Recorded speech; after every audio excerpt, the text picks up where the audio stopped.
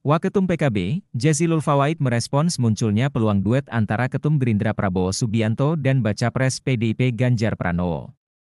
Jazilul mengatakan saat ini arah pemetaan itu sudah mulai terlihat, lihat saja, minimal arahnya sudah mulai terkuak.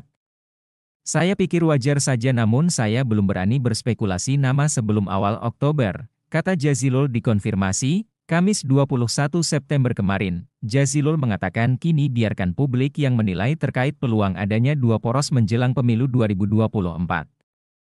Ia berharap muncul pasangan calon lain yang bisa menjadi kompetitor Anies dan Cak Imin, biarkan publik yang menilai dan membuat spekulasi-spekulasi. Saya cukup mendoakan agar koalisi-koalisi yang ada dapat berjalan tertib.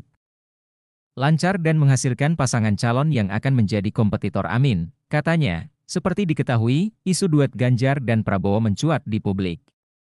Salah satu yang mengusulkan duet tersebut adalah DPD Projo, Pro Jokowi, Bali. DPD Projo Bali mengusulkan Bapak Prabowo sebagai calon presiden dan Bapak Ganjar Pranowo sebagai calon wakil presiden di pemilu 2024. Ujar Ketua DPD Projo Bali Igusti Agung Roni Indra Wijaya saat konferensi pers dalam acara Konverda Projo, seperti dilansir Detik Bali, Projo punya alasan mengapa mendukung Prabowo sebagai Capres 2024 yang pada 2019 lalu menjadi lawan Jokowi.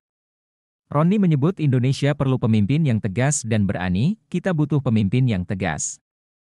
Yang berani, dan untuk melanjutkan semua program-program, kata dia, Ganjar Pranowo merespons peluang duet dirinya bersama Prabowo Subianto di Pilpres 2024. Ganjar mengatakan semua peluang bisa saja terjadi sebelum pendaftaran di KPU. Kalau politik itu, sebelum ditetapkan KPU, semua peluang bisa terjadi, kata Ganjar setelah mengikuti rapat tim pemenangan nasional, TPN, di Gedung High End, Jalan Kebon Sirih, Jakarta Pusat, Rabu 20 September kemarin.